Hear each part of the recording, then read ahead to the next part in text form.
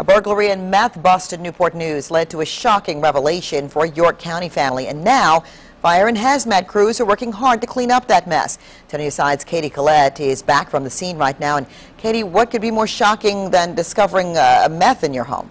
Well, Alvita, for this particular homeowner, it's the fact that friends say his granddaughter is one of the suspects arrested for that crime that could have been a hazard to the community. It is a very volatile chemical when all mixed together. Captain Edward Holloway of the Newport News Fire Department speaking about meth.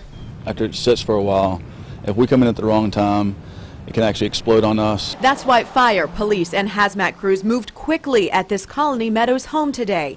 Hours earlier, at 1.30 this morning, investigators called to this Colony Road home for a burglary. When they knocked on the back door, they say they found these two, Kristen Toth and Dustin Belangia, inside.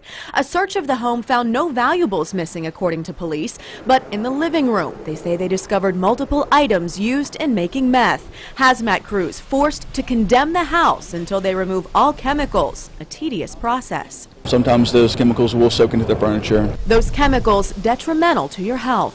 First, it would, it would affect your respiratory system. Um, that would be the, one of your first effects. Um, and as far as your skin, it'll, it'll burn your skin. It'll, it will give you thermal burns on your skin. Crews worked throughout the day cleaning the home, making sure it's safe. Perhaps one of the most startling discoveries of the day for the homeowner? One of those accused of breaking into his house and making meth, Kristen Toth, is his granddaughter, according to family friends. You can't trust anybody. That just makes it seem like you have no safety in this world.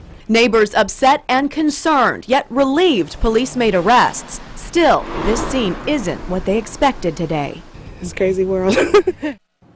Now, we learned the man arrested, Dustin Belangia, has a court date tomorrow on meth, heroin, and marijuana charges in Chesapeake. But he may not be able to make that hearing because right now he and Toth are being held in the Newport News City Jail. Alvita? All right, we appreciate it. Thanks a lot, Katie.